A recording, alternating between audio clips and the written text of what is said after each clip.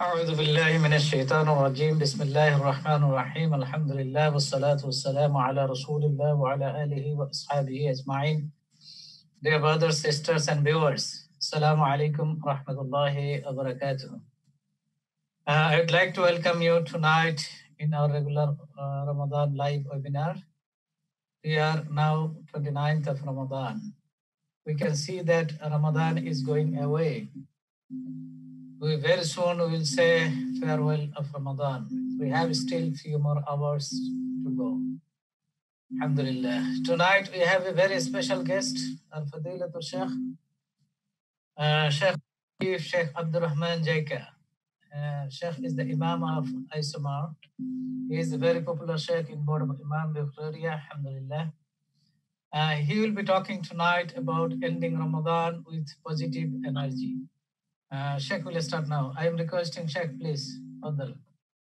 بسم الله الرحمن الرحيم الحمد لله رب العالمين صلى الله وسلم على سيدنا ونبينا وقرة أعيننا وحبيبنا محمد سيد الأولين والآخرين وقائد الغر الميامين عليه أفضل الصلوات والسلام اللهم صل عليه دائما أبدا إلى يوم الدين All praise due to Allah subhanahu wa ta'ala may peace and blessings be upon our beloved Prophet Muhammad sallallahu alayhi wa sallam the, the figure who always taught us sallallahu alayhi wa sallam uh, to have uh, hope before doing any act of worship, while doing it, and after doing it. To always have that hope in Allah and to think the best of Allah subhanahu wa ta'ala. Always think the best of Allah subhanahu wa ta'ala. Sallallahu alayhi wa. May Allah send His peace and blessings upon Him sallallahu alayhi wa and upon everyone who follows His footsteps until the day of resurrection. Ameen. Assalamu alaikum rahmatullah, everyone. I'm happy uh, so happy for Sheikh Hafiq to invite me, and he's one of the most beloved sheikhs that uh, you could ever meet, mashallah, tabarakallah.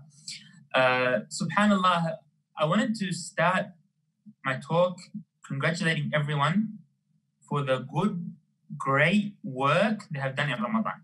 Every Muslim out there. Well done. Congratulations for doing what you have done whether it be reading one ayah of the Quran, whether it be praying Taraweeh one night of Ramadan, whether it be just doing the fard, which is just fasting. May Allah accept it from you. And congratulations for giving some of your time and investing it in your hereafter. Subhanallah, many people towards the end of Ramadan feel down and they feel that they have not been able to achieve what others have done.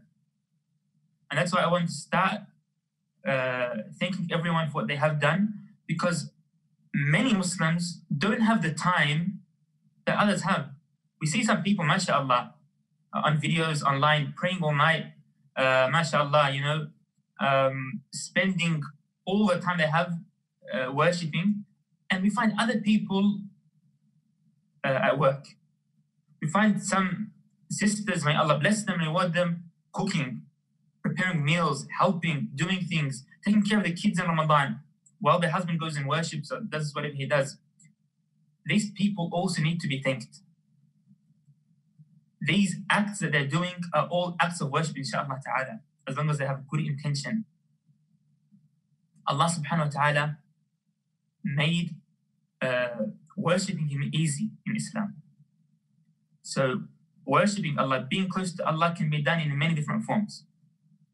And that's why it's, it's not only in salah, it's not only in fasting, but also uh, in doing the best you can towards others in achieving our daily uh, goals in the best way possible. That's why, inshallah ta'ala, the brothers who are there uh, working all day while fasting, they might have a greater reward than the people who are fasting but sleeping at home, even though they're praying all night. So it's not up to us to choose who is who has won the rewards of Ramadan and who hasn't won, who has lost and who hasn't lost. That's not up to us. We all need to have hope in Allah before, while, and after doing the worship that we're done, that we're doing. That's the only way that uh, we're going to push ourselves towards doing more. and we're going to save ourselves from thinking bad about others, which is one of the worst acts of sin that you can do. Sort of one, thinking bad about others. So thank you all, brothers and sisters. And uh, just fasting itself is a great act of worship. Allah subhanahu wa ta'ala says in the hadith Qudsi, the hadith that's narrated uh, from Rasulullah uh, and he tells us uh, what Allah subhanahu wa ta'ala said. So in this hadith he said, ما تقرب إلي عبدي بشيء أحب أحب إلي مما افترضته عليه. My slave has never uh, came closer to me with something that I love more than what's wajib. So your five prayers a day, fasting Ramadan, doing Hajj, doing this, these things Allah loves more than uh, the nafil. So Alhamdulillah, that our religion has given us all these wajibat and fara'id to come closer to Allah subhanahu wa ta'ala with. May Allah accept that from His own. And I would also uh, like to ask all the brothers to hold on to all these good acts of worship that they're doing and good habits. There's only two more days left in Ramadan, and the time is going, but always the last uh, few days and hours are the most precious ones. As we know, إنما الأعمال بالخواتيم. You end your work with the best, uh, you end your work in the best way possible, and Allah subhanahu wa ta'ala will accept it for you, from you uh, according to the best way, inshallah ta'ala. While Ramadan comes to an end, and while we are waiting for Eid, and we're going to start another month, we have to understand that Ramadan was there to teach us a few important lessons in life and give us power to work throughout the whole year. So Ramadan has taught us that we are able to control ourselves. Ramadan has taught us that, no, especially this year, that no matter what, no matter in what circumstance it is, we are able, bi'idhnillahi ta'ala, to achieve anything we want. Ramadan has taught us that we can still hold on to our religion even alone. Ramadan has taught us that family is everything. Ramadan has taught so many things. What we need to do is take these good teachings that we learned from Ramadan and try to start uh, understanding them and start employing them in life. Once we do that, ta'ala, we'll find that it's harder for shaitan to start attacking us with bad habits again, inshallah ta'ala. And this is one of the beautiful things that we see about uh, fasting the six days of Shawwal. So once Ramadan ends, we're still are in the, the mode of fasting and doing good deeds. So Allah subhanahu wa ta'ala gave us six days that uh, He gave us extra reward to fast another six days uh, that uh, always remember us, from, uh, remind us about the happy moments that we had in Ramadan, inshallah ta'ala. So, my dear brothers, the most important thing for us now is to do the best we can according to our, our circumstances in these last few moments and have hope in Allah and believe that Allah subhanahu wa ta'ala will accept what we did for him, inshallah ta'ala have hope in Allah subhanahu wa ta'ala uh, in every act that you have done. Once you have that hope in Allah subhanahu wa ta'ala and you do as good as you can, uh, inshallah ta'ala, Allah will accept you because uh, no matter how much we do, it's nothing. And we do not deserve Jannah just from a, a few acts of worship. So it's the way uh, you do it and your, your intention and the way you see it and the way your heart is, that is what counts with When Allah subhanahu wa ta'ala sees you sincere, sees you uh, praying a few rak'at, but in those rak'at, you are totally attached to Allah. You're saying, Ya Allah, I don't have anything to give to you, but I just want you to accept this little bit that I have. Uh, you're not seeing yourself above anyone else in this life. You don't have uh, envy towards other Muslims in this life. Uh, these kind of understandings that we should have, this is what brings your rewards very high. This is what might make you higher than people who spend their whole day and night uh, worshiping, inshallah ta'ala. So we need to hold on to what we have and make the best of it, bi'idhnillah ta'ala. And Allah subhanahu wa ta'ala will always, always give us more than what we have given. So once you step one step towards Allah subhanahu wa ta'ala, He will give you uh, way more than you have done. Subhanahu wa ta'ala, in innahu jawad kareem. And Allah subhanahu wa ta'ala gives in this month uh, the most. So when you ask Him and you seek uh, help from Him subhanahu wa ta'ala, He's going to help you. Bidnillah ta'ala.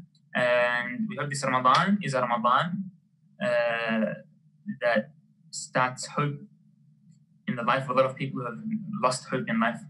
Hope this Ramadan has also been a month uh, where everyone had the chance to remember Allah subhanahu wa ta'ala, to get back to Allah, to start understanding the purpose that they're here for. And we hope it's a month that everyone also, uh, inshallah ta'ala, feels happy. And we hope everyone a happy, beautiful Eid, inshallah ta'ala.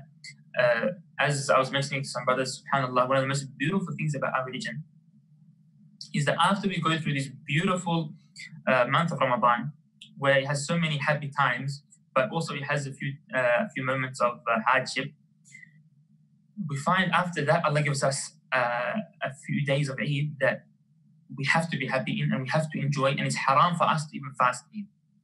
Uh, so Allah Subhanahu wa Taala uh, gives us that balance, and He also makes it an act of worship to be happy in Eid and to eat in Eid and to uh, make others happy in Eid. So Alhamdulillah Ta'ala, uh, beautiful moments, happy moments are always uh, continuing in Muslims' life in different forms. So in Ramadan, as Rasulullah mentioned, you're happy when you break a fast, you feel happy. Uh, when Eid comes, you feel happy. Uh, when you achieved praying a night prayer, you feel happy, Alhamdulillah Ta'ala. So these things all uh, bring happy energy towards the Muslim and they push him towards doing more and more, inshallah ta'ala, in the future. As we know, our life in this life is very short. Our life is very short.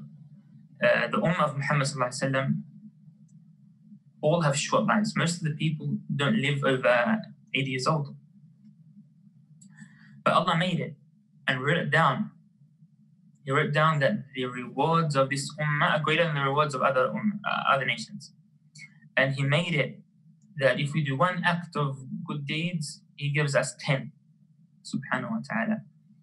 Uh, this is all a gift from Allah subhanahu wa ta'ala. 10 is the minimum, so 10 or more. This is all a gift from Allah subhanahu wa ta'ala uh, that should push us towards doing more and should give us the hope in Allah subhanahu wa ta'ala. Rasulullah, I want to end with a hadith that should make you all happy. Should make you all have hope in Allah. Never lose hope in Allah. Rasulullah was with his companions and he made dua.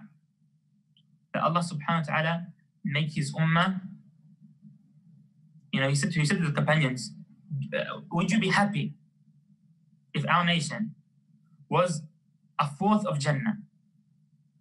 A fourth of Jannah. They said of course we would be happy? And a fourth of Jannah is a lot of people mashallah. They said yes he said, Would you be happy if Allah made you a third of Jannah? I said, Yes. He said, Would you be happy if you were half the people of Jannah? And they said, Of course. He said, I hope that Allah subhanahu wa ta'ala will make us uh, make Jannah, you know, more than half of Jannah will be full just from the nation of Muhammad sallallahu alayhi wa. This is all a gift from Allah subhanahu wa ta'ala to his beloved Prophet sallallahu alayhi wa sallam, who was uh, a guidance to mankind, a mercy to mankind, sallallahu ta'ala alayhi wasallam. Also, another important thing to understand is that our relationship with Allah subhanahu wa ta'ala should always be a very healthy relationship that never ends. So in life, subhanAllah, you know, even with people, we find some people, we have a relationship with them that uh, continues for a, short amount of time, whether it be for work, whether it be for something that we need, something that they need, and then it ends. And some people a few years, some people a few months, some people, subhanAllah, you need them for your whole life. You never get sick of them. So it depends on the way you are and the way they are. If they open up to you, if they're good with you, you don't want to leave them. So if you're also good, also good to them, then inshallah the relationship will continue forever. Allah subhanahu wa ta'ala has opened the doors of mercy and rahmah and barakah and forgiveness and, uh, and generosity to us all the time. So we have no excuse. But it's up to us to have that relationship with Allah. It's up to us to always be attached to Allah subhanahu wa ta'ala. It's up to us to see Allah subhanahu wa ta'ala as everything and see ourselves as nothing subhanahu wa ta'ala. We do not count on ourselves in anything, like I said, even in good deeds, even in worship, we don't count on ourselves. We're all uh, attached to Allah subhanahu wa ta'ala. If He leaves us, we're gone. So, in order for us to continue having this beautiful relationship with Allah, uh, which is a reason for Allah to always answer our dua, make us happy, give us give us what we want. In order for that to continue, we must also continue worshipping Allah and doing the good acts that we have done. So in Ramadan, we started many good habits, reading Quran, fasting, uh, helping people, doing good, being with family, uh, praying together. All of these good habits, we should continue with them, even if they're less than what we did in Ramadan. So every Muslim should read something, a little bit of Quran a day, a little bit of Quran a day, whether it be a few pages, whether it be one page, whether it be a few verses, whatever you can. Like I said, uh, your acts, uh, don't leave them, even if your circumstances are hard. Do what's possible for you and don't focus too much on others. Do what you can do and say, Ya Allah, this is what I can do. Accept from me, Ya Allah. Allah will accept it from you, inshallah. Uh, so continue reading Quran, even if it's less. Uh, continue praying to Allah subhanahu wa ta'ala. Uh, you know, after Salat al-Isha, pray witr. Pray witr. Witr is one of the most important prayers that many people neglect. Uh, try to fast a few days month. Uh, you know, it's sunnah to fast three days a month. If you can fast three days a month, wallahi, three days a month is beautiful. And you get the rewards of fasting a whole year, inshallah ta'ala, just by three days a month. Uh, try to still help people, feed people, do things like that. Uh, this all keeps you connected with Allah, it keeps you satisfied, it keeps you calm, it also keeps you uh, attached to uh, things that are not uh, from this world. The problem with our life is that we're always attached to, uh, subhanAllah, to this world too much, and that we have lost hope and connection from Allah subhanahu wa ta'ala. Once we have these good acts and habits that continue, we don't find the dunya overwhelming us anymore. We work, we have a good life, we're stable, but we're not overwhelmed from dunya. We're overwhelmed uh, love of Allah subhanahu wa ta'ala. And that is what we need in this life in order for us to uh, continue and to succeed in the short journey that we are here in the dunya for. بإذن الله تعالى وصلى الله وسلم على نبينا محمد وعلى آله وصحبه أجمعين May Allah subhanahu wa ta'ala accept everything and accept from everyone. Uh, inshallah ta'ala, the brothers asked if we could leave a few minutes of questions. So inshallah ta'ala, um, any questions? Jazakallah khairan Shaykh for your beautiful advice to our brothers and sisters. Barakallah feek. Shukran jazila, Shaykhana. Uh, we have a couple of questions. Let me start with them. Uh, Sheikh, can I go one by one? Okay. Assalamu alaikum, Sheikh. Could you please give us some tips on how to continue our good deeds after Ramadan as well? So, uh, what many people, the mistake that many people make when they try to continue with deeds after Ramadan is that they try to, uh, you know, they get excited for one day and they start praying the whole day or reading the whole Quran in one day and then they leave it after that and they never come back to it until next Ramadan. So they, they burden themselves too much. Uh, as we know the habit that Rasulullah taught his companions companions was take things slowly, slowly. Take things slowly, slowly. Uh, continuing with something small is better than not continuing with something big. Like I said, whether it be uh, reading a few ayat of Quran a day, that's a good habit. Keep keep it, hold on to it. Even if you're able to read a, a few juz in that day, but then you're not going to be able to continue with it, continue with a few ayat. Uh, because these ayat will be a connection between you and Allah. Those ayat going to be there for you in the hereafter, inshallah ta'ala. Uh, those ayat are one of the secrets that you have between you and Allah subhanahu wa ta'ala, that you always remember Allah with. So these habits, subhanAllah, keep us connected, like I said. So start small, but continuing in everything that you do, inshallah ta'ala. Also, uh, try to understand yourself, subhanAllah. You know, every one of us are weak in some things and strong in other things. Every one of us. MashaAllah, some brothers, they can fast for years, no problem, mashallah, you know, they don't, have a problem. Others find it very hard to fast. If you find it very hard to fast, maybe fast uh, a day a month, uh, you know, three days a month, whatever you can. But maybe you find it easy to pray. You love salah. You find that when you're praying, you find your heart to Allah subhanahu wa ta'ala. Uh, pray a lot, no problem. Some people find that, that subhanAllah, in reading Quran is, is the most love, they love it the most, you know, the most beloved act to them is reading Quran. They can sit with the Quran open all day.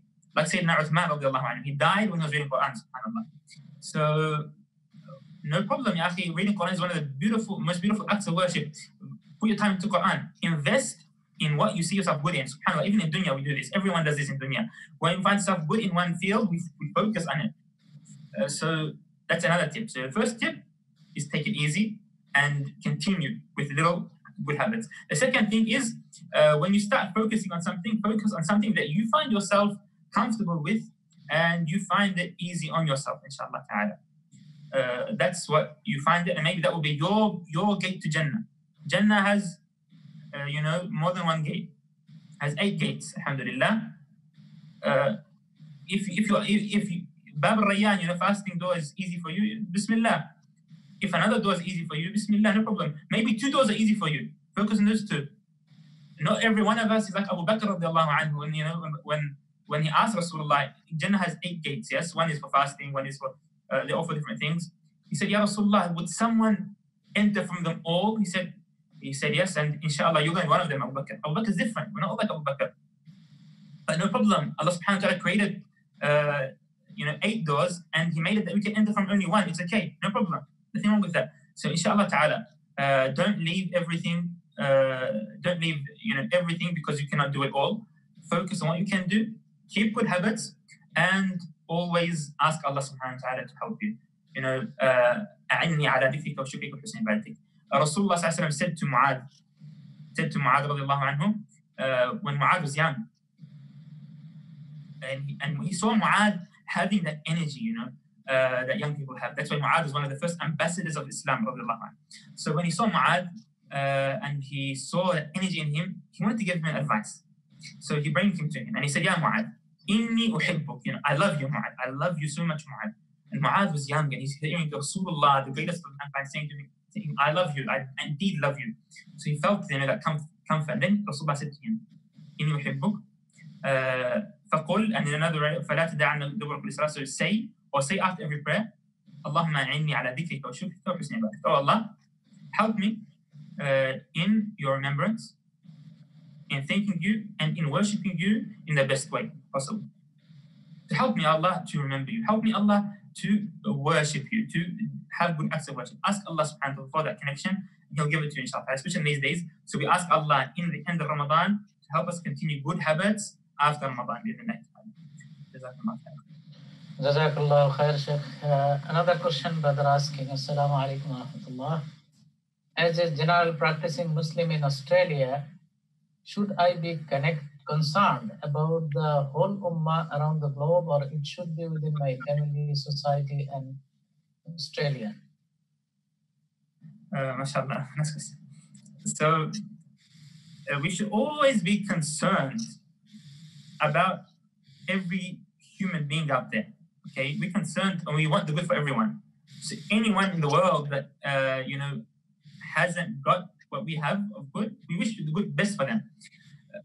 But being concerned does not mean that I spend my whole entire time on the internet, my whole entire time when I'm sitting with people, uh, debating and talking about uh, the problems and the you know politics of other countries, while I have lost myself, lost my family, I have not built any network, any connection with the Muslims in my country. I have not been able to uh, do anything positive in my life. That's what most people do. The problem is that uh, people are not just concerned. The problem is that people waste their time into things that they do not benefit them.